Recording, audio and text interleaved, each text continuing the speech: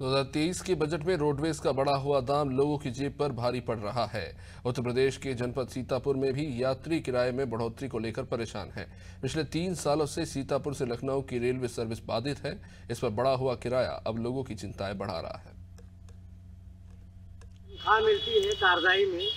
तो दो बच्चे ऐसे हैं और बीवी है। बीवी का खर्च तो बच्चे का खर्च हमको बताओ पाँच हज़ार में हो जाए? नहीं होगा।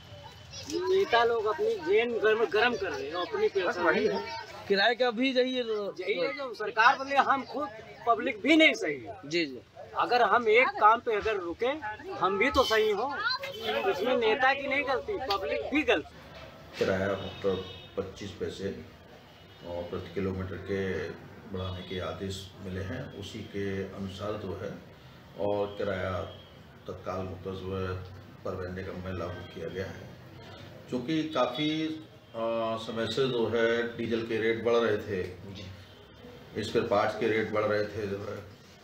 और इसके साथ साथ जो है भत्ते की किस्तें जो कर्मचारियों की बढ़ी थी तो परिवहन निगम पर जो है और खर्चे लगातार बढ़ने होने की वजह से और परिवहन निगम के सामने बड़ी ही मतलब जो वित्तीय स्थिति थी तो ऐसी स्थिति में जो है और शासन के निर्देश पर जो है परिवहन निगम का किराया जो है और 25 पैसा पर किलोमीटर बढ़ाया गया